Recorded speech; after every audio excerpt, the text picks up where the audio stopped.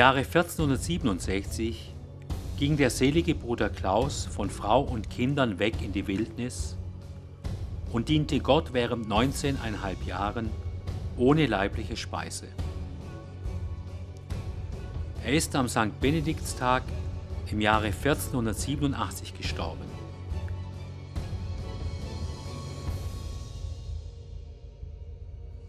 Auf diesem 1518 neu gestalteten Grabstein finden wir die drei Fakten, die uns am Leben von Bruder Klaus am stärksten beeindrucken, aber auch befremden. Das Verlassen von Frau und Kindern, das Leben in der Abgeschiedenheit und der 19,5-jährige Verzicht von Speise und Trank.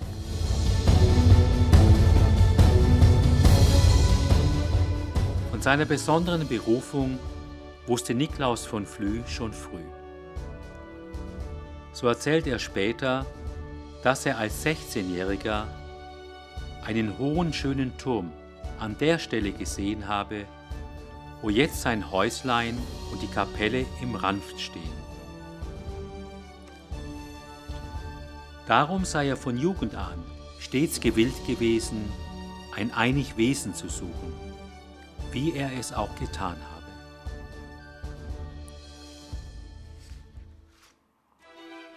Das bedeutet, mit sich, den Menschen und mit Gott ganz im Reinen zu sein. Vor allem aber immer mehr erfüllt zu werden von der Gnade Gottes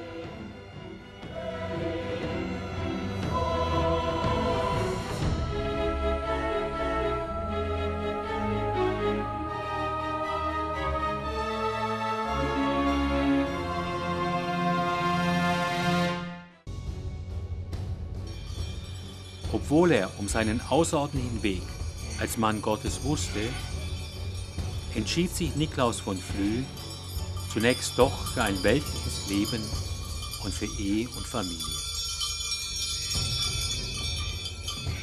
Fehlte Niklaus von Flü einfach der Mut, den entscheidenden Schritt zu wagen, seiner besonderen Berufung zu folgen? Oder fühlte er sich dafür noch nicht bereit? Jedenfalls war Niklaus von Flü bereit, den Erwartungen der Eltern und der Umgebung gemäß den üblichen weltlichen Weg zu gehen. Das heißt, den Hof der Eltern zu übernehmen, wie der Vater Vorsteher der Pfarrei Sachsen zu werden und damit als Richter und Politiker in den oberen Führungszirkel des Standes ob dem Wald aufzurücken.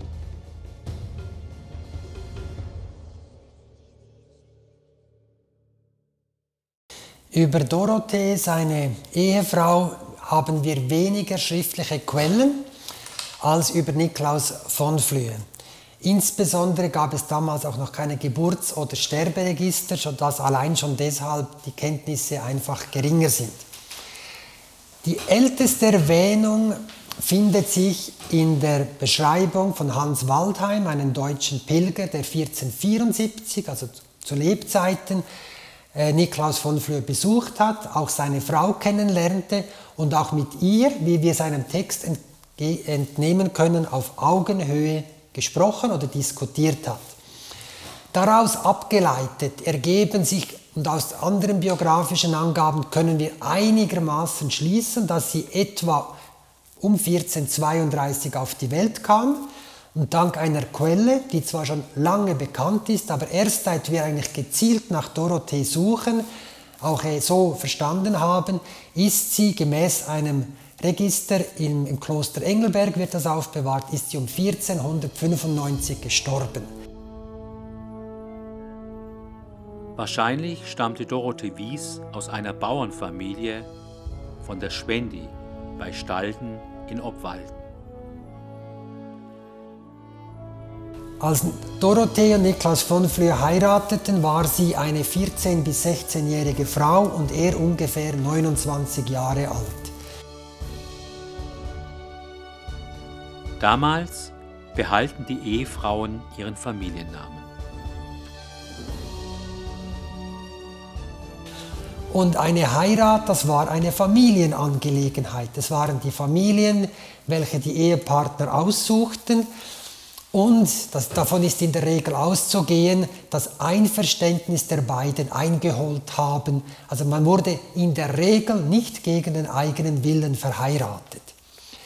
Wie weit sich die beiden kannten, das ist aus heutiger Sicht nicht mehr und heutiger Zeit nicht mehr abzuschätzen und nachzuvollziehen kannten sie sich gegenseitig so gut, um auch die innerste Seelenlage zu verstehen?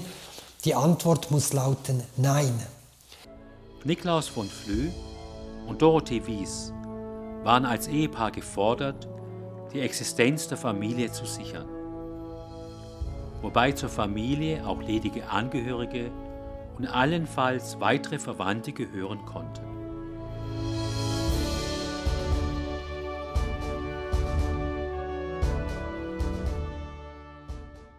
Das ist eine Figur, die erstellt wurde vom Bildhauer Thomas Bierwett, der hier in der Gegend lebt. Und sie stellt Bruder Klaus und Dorothee dar. Bruder Klaus ist als Leerstelle dargestellt. Man sieht ihn also nicht. Er bietet Platz für alle Interpretationen der Betrachtenden. Dorothea hingegen ist auf der Seite figürlich dargestellt, aufgemalt auf der Figur. Genauso wie es vielleicht wirklich auch im Leben war. Dorothea mit beiden Füßen fest auf dem Boden verankert. Traditionell war der Mann für den Hof zuständig, das heißt für die Vieh- und Ackerwirtschaft. Die Frau für das Haus und den Garten. Für einen prosperierenden Hof brauchte und braucht es beide. Tüchtige und zuverlässige Männer und Frauen, der wirtschaftliche Aufstieg der Familie Flühe Wies war deshalb gewiss beider Arbeit zu verdanken. Die Hausaufgaben der Frauen trugen genauso zur Existenz der Familie bei wie die Arbeit und der Ertrag des Hofes. Dass Hausarbeit gratis ist oder einkommensmäßig nicht zählt, existiert als Konzept erst seit der Zeit der Geldwirtschaft. Aber es war sicher für die junge 15-jährige Dorothee äh, etwas Neues, eine eigene Familie zu ernähren, im Garten anzupflanzen, die Lebensmittel zu konservieren, wie wir es heute modern sagen, also einzukochen, einzulegen, zu trocknen, aber auch Kleider zu nähen, weil in der damaligen Zeit haben, die Bauern waren eigenständig. Man hat nicht eingekauft, man hat für sich selbst geschaut. Walter Nick meint, die Ehe mit Bruder Klaus sei eine Heirat aus dem gesunden Verlangen nach einem ehelichen Leben gewesen und alles andere als eine Josefsehe, welche die beiden miteinander führten. Die natürliche Sinnlichkeit des Niklaus von Flüh zeigt sich in den fünf Söhnen und fünf Töchtern. Allerdings wissen wir nur von sechs dieser zehn Kinder mit Sicherheit den Namen. Es ist also denkbar und plausibel, dass vier Kinder schon früh verstorben sind oder im jugendlichen Alter. Jedenfalls wäre dies keine Ausnahme gewesen. Die beiden ältesten Söhne wurden beide Landamann, also heißt Präsident des Kantons von Obwalden, eine Ehre, die der Vater ausgeschlagen hatte. Beide waren auch erfolgreiche Söldnerführer, auch dies eine Karriere, die der Vater nicht gesucht hatte. Beide waren Draufgänger und typisch für ihre Zeit der Renaissance. Die beiden ältesten Töchter heirateten nach Nidwalden, da wo wahrscheinlich auch ihre Mutter herkam. Der jüngste Sohn also eigentlich der Sohn, der den Vater nicht als Vater im eigenen Heim, in dem eigenen Zuhause kennengelernt hatte, wurde Priester und starb aber relativ jung als Pfarrer von Sachsen. Und von einer weiteren Tochter ist belegt, die ebenfalls im Kanton Obwalden geheiratet hat.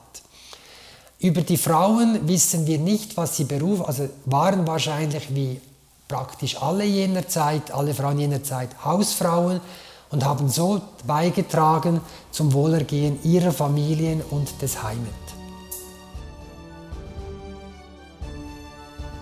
Über den Ehemann und Familienvater Klaus von Flü berichtet Albrecht von Bonstetten, er ist nie ehebrüchig oder als Trinker vermerkt. Dieser Satz sagt wenig und doch viel aus. Denn der Verbrauch von Wein, gegorenem Apfel- und Birnensaft und an Schnaps war sehr groß. Dass die Eidgenossen durstige Kehlen hatten, blieb auch dem Ausland nicht verborgen. Fair Swiss galt in Frankreich als Bezeichnung für das Saufen. Es sind mehr durch die Folgen des Rausches als durch das Schwert getötet worden, klagt damals ein Abt in einer Fastenpredigt.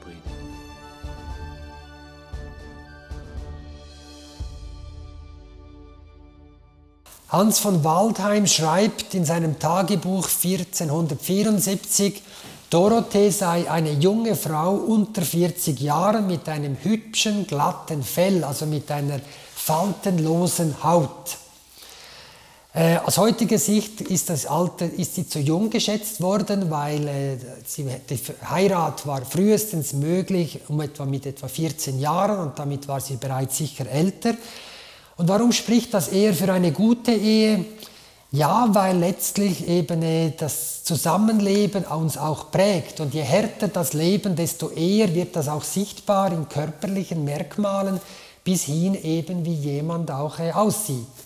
Und es spricht auch für eine gute Ehe, dass sie mit ihm auf Augenhöhe spricht, so wie er sich auch mit Niklaus von Flüe unterhält.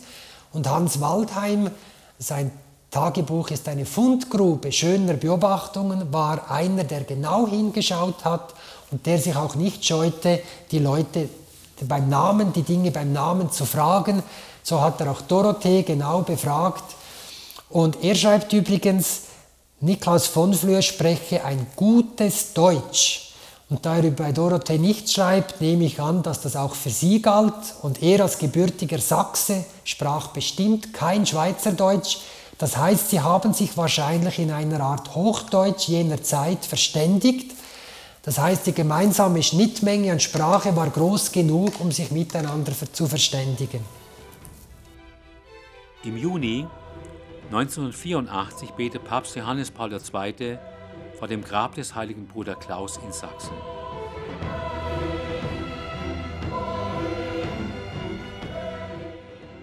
Mein Herr und mein Gott, dank deiner Führung wurde die Gemeinschaft der Ehe und Familie auf dem Flügel zum Ort des Glaubens und des Gebetes.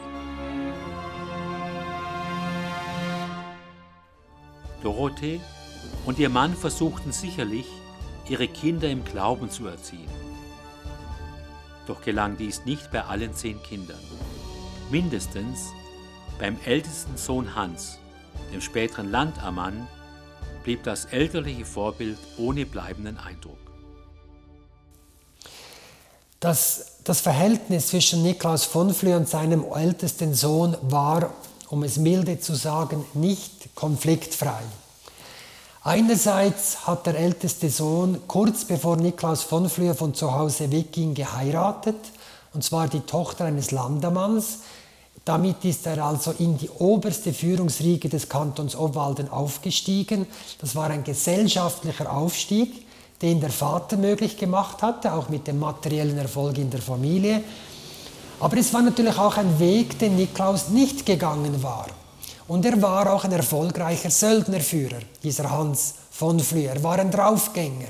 Und die Quellen überliefern, dass als die Nachbarn fanden, wir wollen Niklaus eine Kapelle bauen, so wie es, wie es sein Wunsch ist, und ein Hüsli daneben, eine Zelle, wie wir heute sagen, fand die Familie, wahrscheinlich der Sohn, man möge damit noch zuwarten, um sicher zu sein, dass er dann auch dabei bleibe.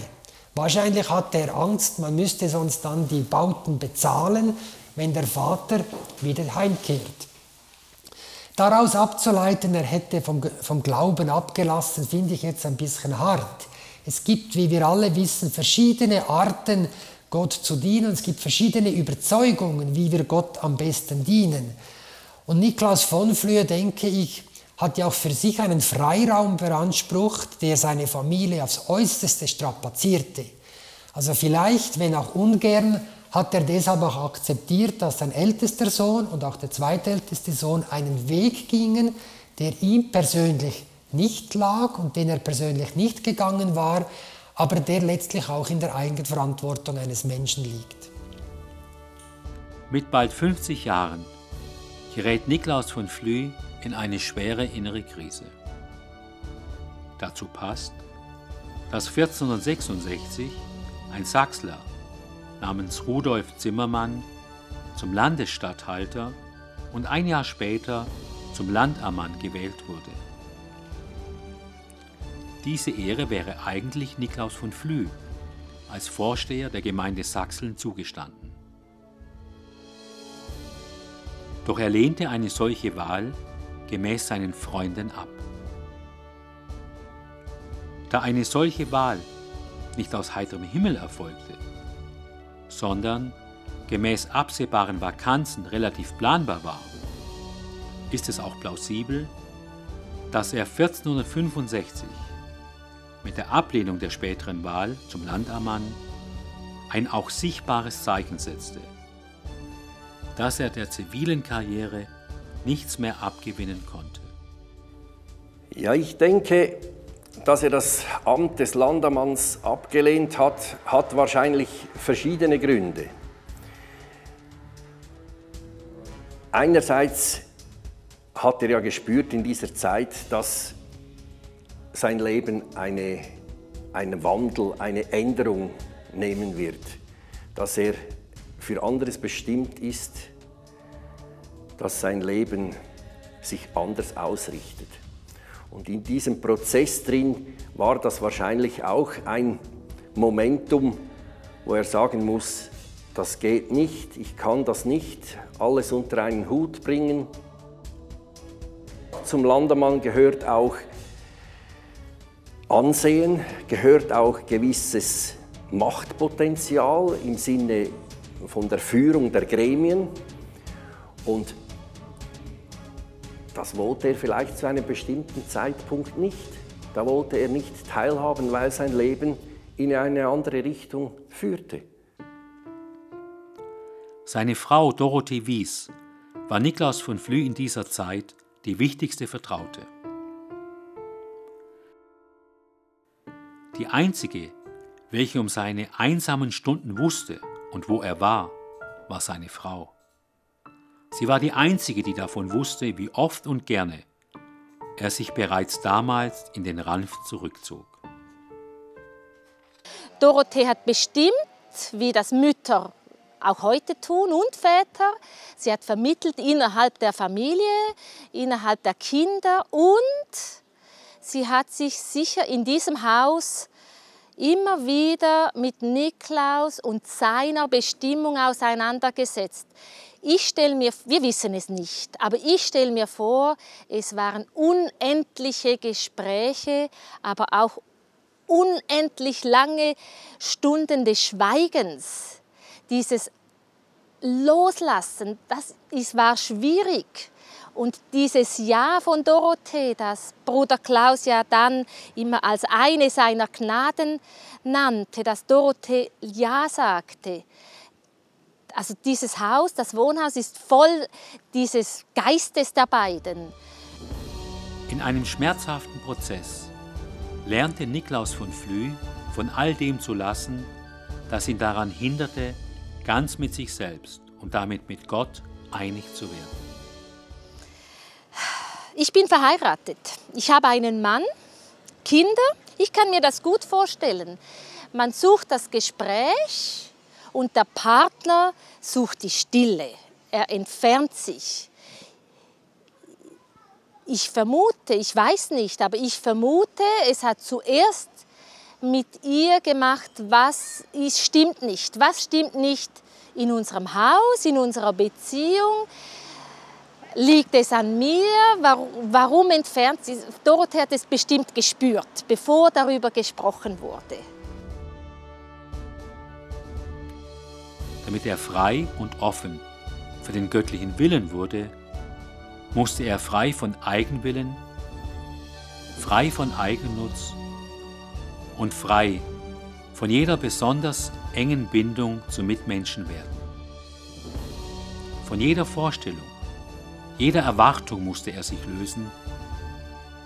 Aus diesem Grund verlässt er mit 50 Jahren alles, was ihm bis dahin lieb und teuer war. Dass Niklaus von Flöhe seine Familie und den Hof verlassen hat, das kann ich nachvollziehen. Verstehen ist etwas anderes, aber nachvollziehen kann ich das. Jeder Mensch ist auf dem Weg und sucht sich den Weg, der im Innersten entspricht. Und so kann ich es nachvollziehen. Ja.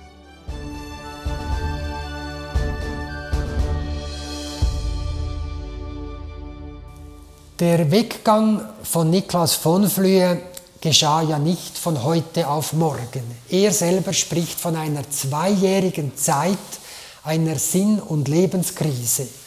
Und sein zweiter Sohn hat in Zeugenaussagen, die ein Jahr nach seinem Tod im Kirchenbuch von Sachsen niedergeschrieben wurden, er selber hat in, in dieser Zeugenaussage einen eher rätselhaften Satz gesagt, nämlich am Anfang seines Abbruchs als er ins Melchi mähen gehen wollte. Was heißt Abbruch? Also da fand ein Bruch in seinem Leben statt.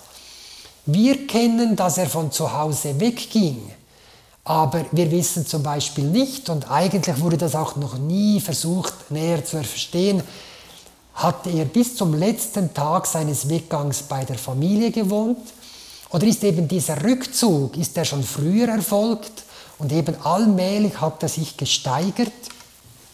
Von daher war es eben auch für die Frau nicht eine Überraschung, sondern sie hat gespürt, dass da etwas ist.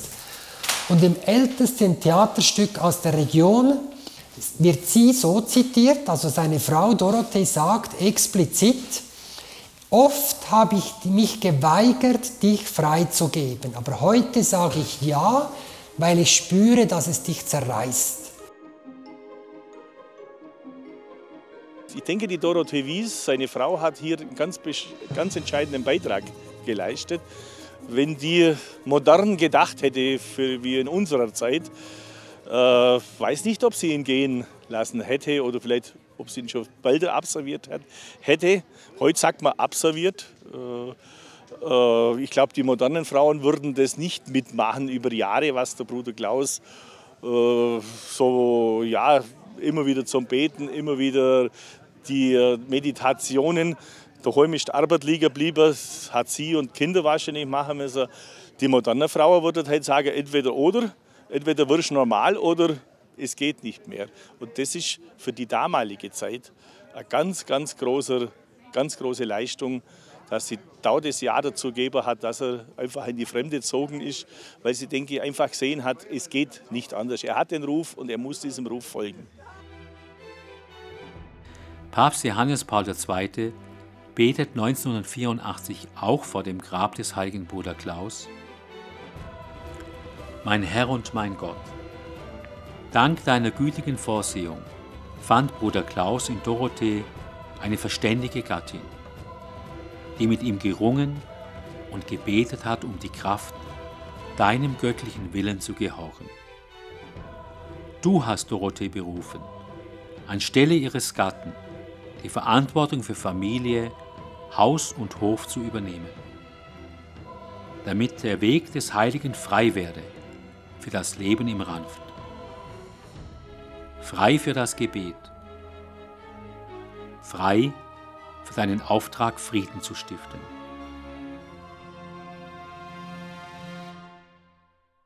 Ich habe mich immer gefragt, wie das wohl für eine Frau ist, oder wie es für mich wäre, wenn ich mit ganz vielen Kindern da stehe und mein Mann sagt, ähm, er verlässt uns jetzt und er muss in die Einsamkeit gehen. Mich natürlich auch gefragt, ob die Dorothee das unbedingt so freiwillig gemacht hat. Ähm, aber es scheint ja doch zu, so zu sein, dass sie die Entscheidung mitgetragen hat. Und gerade weil ich jetzt eben vor kurzem geheiratet habe, ist es für mich so ein Symbol, auch den anderen seinen Weg gehen zu lassen, wohin der auch immer führt.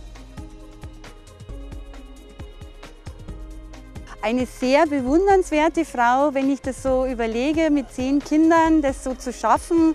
dann auch ihren Mann freizugeben, also mit höchster Bewunderung und Respekt, weil ich ja selber Mutter von Kindern bin und äh, das gut nachvollziehen kann, wie da die Gefühlslagen oft sind. Als sie nun bemerkte, wie ihr Mann etwas umtrieb, auch eine Sehnsucht nach Ruhe, eine Sehnsucht zum Zeit für das Gebet, zum Gespräch mit Gott, da machte sie das Beste daraus. Sie hat das so genommen und sie hat das Beste daraus gemacht. Ich glaube, wir müssen uns das weniger psychologisch oder weniger pathetisch vorstellen, als das heute vielfach der Fall ist und als wir uns heute denken, was braucht es alles? Und so eine Ehe war ja immer nur ein Teil einer Gemeinschaft, eines Familienbetriebes. Da gab es Kinder, da gab es ledige Brüder, möglicherweise ledige Schwestern, es gab Großeltern. Und die Beziehung der Eheleute ist ein zentraler Punkt, aber es ist nicht der einzige Punkt, um glücklich zu sein und es ist auch nicht entscheidend für das Zusammenleben als Gemeinschaft. War der Weggang von Niklaus von Flüh vielleicht auch eine Befreiung für die Familie? Einen Gatten und Vater zu haben, der sich immer mehr zurückzieht, kaum noch einen gemeinsamen Tisch pflegt, war für eine Großfamilie auf kleinem Raum nur schwer zu ertragen. Und vielleicht, ich, ich sage jetzt etwas Persönliches von mir, meine Eltern, mein Vater war wie Niklaus, er hat nicht gesprochen, er hat sich immer zurückgezogen. Und als Kind habe ich das sehr miterlebt, wie schwierig es für meine Mutter war, einen schweigenden Partner zu haben und der erst gesprochen hat, wenn das Problem schon bewältigt war. Und deshalb war nicht nur Dorothee, es war sicher auch die ganze Familie, die das mitgetragen und mitgelitten hat in dieser Entscheidungsphase. Letztlich war es ein Entscheid zweier reifer, verantwortungsbewusster Menschen. Nicht vergessen werden darf, Niklaus von Flü gilt damals mit seinen 50 Jahren bereits als alter Mann. Auch war spätestens seit Sommer 1467 sein ältester Sohn Hans von Flö mit Elsbeth von Einwil verheiratet und der Hof möglicherweise bereits übergeben. Elsbeth von Einwil brachte als Tochter eines Landammanns zusätzlich Güter wie landwirtschaftlich nutzbare Flächen in die Ehe ein und ermöglichte der Familie von Flöhe auch einen gesellschaftlichen und politischen Aufstieg. Für Niklaus von Flüh fiel damit auf jeden Fall, zumindest teilweise, die äußere Last weg, für die Familie sorgen zu müssen. Was können heute Ehepaare, Familien von Niklas und Dorothee lernen? Das Gespräch suchen, den gegenseitigen Respekt zu akzeptieren, wenn der Partner, wenn das Kind einen anderen Weg gehen möchte, immer wieder hinzuhorchen, diese, diese Auseinandersetzung miteinander, untereinander. Und da bin ich überzeugt, hat das Ehepaar Niklaus und Dorothee uns heute in der modernen Zeit ebenso viel zu sagen wie damals. Das erlebe ich in meinem familiären Alltag. Diese, diese Auseinandersetzung, es ist nicht immer so, wie ich denke, es sein sollte. Das zu akzeptieren und darüber zu sprechen. Also für uns heute Familien, Ehepaare, ich denke, dass die Auseinandersetzung um den Lebensweg, um den Lebensweg des Einzelnen, aber auch um den Lebensweg in Gemeinschaft als Paar, dass, dass da etwas von der Art, wie Bruder Klaus und Dorothee gelebt haben, dass das durchaus für uns heute ein Vorbild sein kann. Nicht Schnellschuss, sondern tiefe Rungen, äh, tiefes Ringen um den Weg, was ist richtig? Was führt uns eigentlich zum Wesentlichen, zum, zum Entscheidenden im Leben? Was führt uns letztlich zu Gott? Wie, wie, wie soll unser Leben aussehen? Ich glaube, diese Fragen, die dürfen wir durchaus uns heute stellen als Ehepaar, als Familie. Und die Antworten liegen nicht einfach auf dem Tisch. Sie müssen gefunden werden und sie müssen je anders wieder gefunden werden. Niklaus von Flü kann sich bei seinem Aufbruch auf das Evangelium berufen. Wer um meines Namens willen Brüder, Schwestern, Vater, Mutter, Kinder, Äcker und Häuser verlassen hat, sagt Jesus, wird das Hundertfache dafür erhalten und das ewige Leben gewinnen. Papst Johannes Paul II. Meint zu diesem radikalen Schritt, Niklaus von Flü ist ein echter Zeuge Christi, ein Mensch, der das Evangelium bis zu seinem letzten Wort verwirklicht hat. Ehren wir auch seine Frau Dorothee.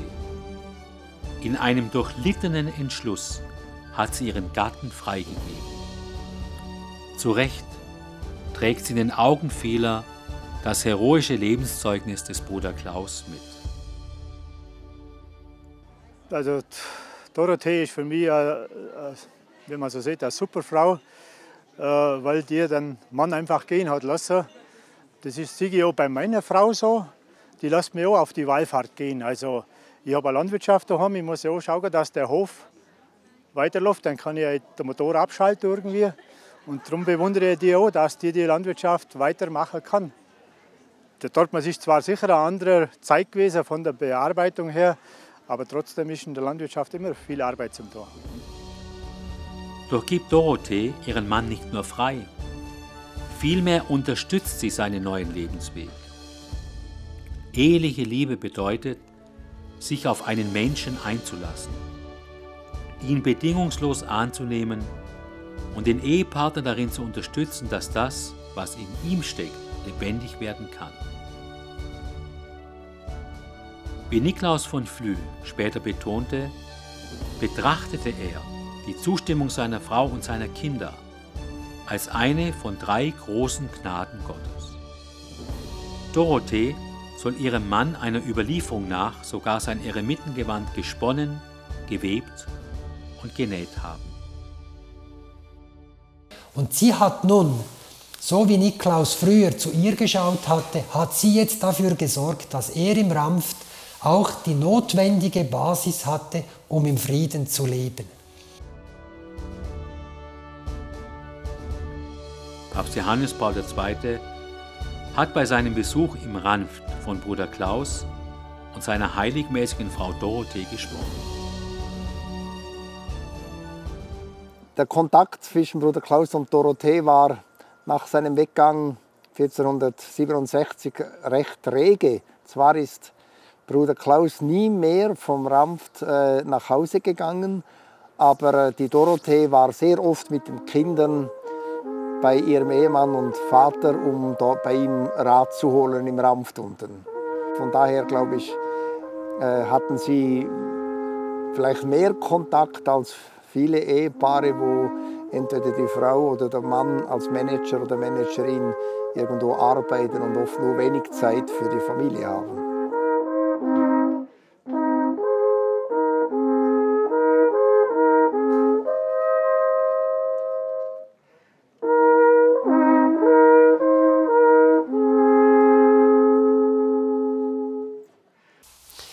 Über den Tod von Bruder Klaus haben wir zwei alte Quellen.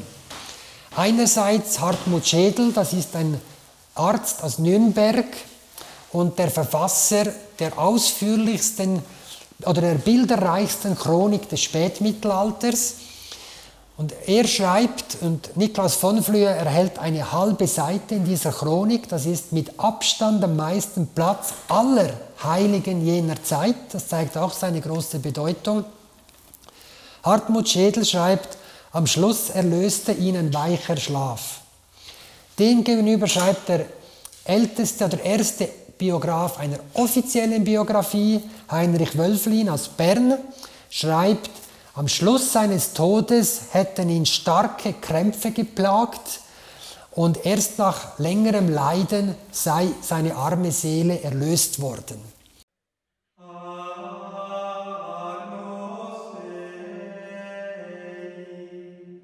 Sein sehnlichster Wunsch in dieser Woche des Leidens vor seinem Sterben war es, äh, die Wegzehrung zu bekommen. Oft versteht man ja falsch. Viele Leute meinen oft, das Sterbesakrament sei die sogenannte letzte Ölung, von der man früher so gesprochen hatte. Wir nennen das heute richtigerweise Krankensalbung.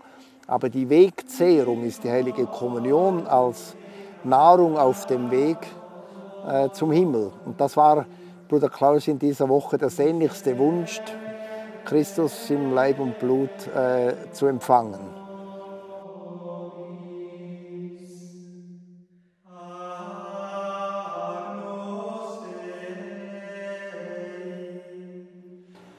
Die Dorothee war nicht dabei beim Sterben.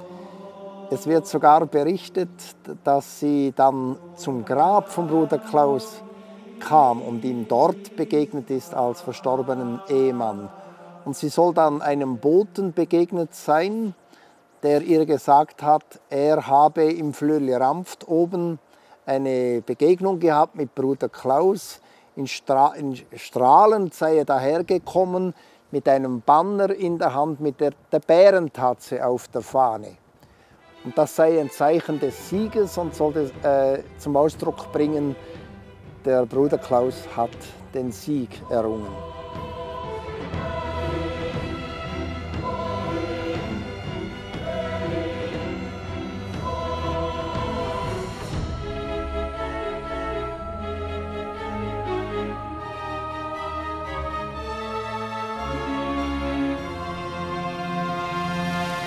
Die Nachbarn dies erzählen, und das wird auch dann so aufgeschrieben, heißt das doch, für sie war Dorothee die wahre Erbin und das Oberhaupt der Familie, nicht der älteste Sohn. Sie, die Mutter, die Großmutter, die Flöhlebäuerin, sie war die Person, der der Engel diese Ehre oder die Gott, der Gott diese Ehre zuteil werden lässt. Jawohl, Jetzt ist Niklas von Flem Himmel, er hat seinen himmlischen Frieden gefunden und du bist auserwählt, dies hier unten zu wissen. Also zeigt eine unerhörte Hochachtung, die sie in der Gemeinschaft genoss und die ihr wahrscheinlich auch deshalb zuteil wurde, weil sie eben auch nach außen seine legitime Vertreterin war. Sind Dorothee Wies und Niklaus von Flö ein heiliges Ehepaar? Von der Wallfahrtsleitung gibt es hier Bestrebungen, die Verehrung von Dorothee Wies zu fördern, weil die wäre ja wichtig. Und darf man die überhaupt fördern? Oder muss man die einfach zur Kenntnis nehmen? Und nimmt man die hier zur Kenntnis? Gibt es so eine Verehrung? Ich war immer der Meinung, man dürfe jemand erst verehren, wenn jemand selig gesprochen wird. Ist mir dann erst im Laufe meiner Aufgabe als Bruder Klausenkaplan bewusst geworden, dass nicht die Verehrung erst bei den Selig gesprochen, sondern die liturgische Verehrung, das ist nochmals ein Unterschied, darf erst nach einer Seligsprechung erfolgen. Als ich mal einen Gottesdienst von Kirche in Not besuchte in Luzern, war auch der Nuntius. Ich habe ihn in der Sakristei begrüßt, wir kannten uns nicht. Als ich meinen Namen gesagt habe, hat er sofort wie aus dem Kanone äh, geschossen gesagt, ah, Sie sind doch der, der die äh, Dorothee heilig sprechen will. Das können wir nicht in Rom machen, das müsst ihr in der Schweiz machen. Es gibt noch viel zu wenig Verehrung von Dorothee. Und dann habe ich gesagt, aha, ja, dafür kann ich schon sorgen. Und dann später bei der Feier letztes Jahr, äh, der Feierlichkeiten zum Jubiläum, habe ich auch mit Kardinal Koch gesprochen darüber. Und er hat mich auch ermutigt, die Verehrung von Dorothee zu fördern. Und da sind wir jetzt schon dran und das ist mir ein Anliegen. Und dazu kommt für mich eben auch, dass ein heiliges Ehepaar höchst aktuell wäre, so wie es Bruder Klaus und Dorothee waren, höchst aktuell wäre. Aber in der heutigen Zeit ein heilig gesprochenes Ehepaar äh, von einem Bauern-Ehepaar, die beide einen eigenen Weg gegangen sind. Das wäre einzigartig und ich denke als Vorbildfunktion für die heutigen Ehepaare enorm wertvoll.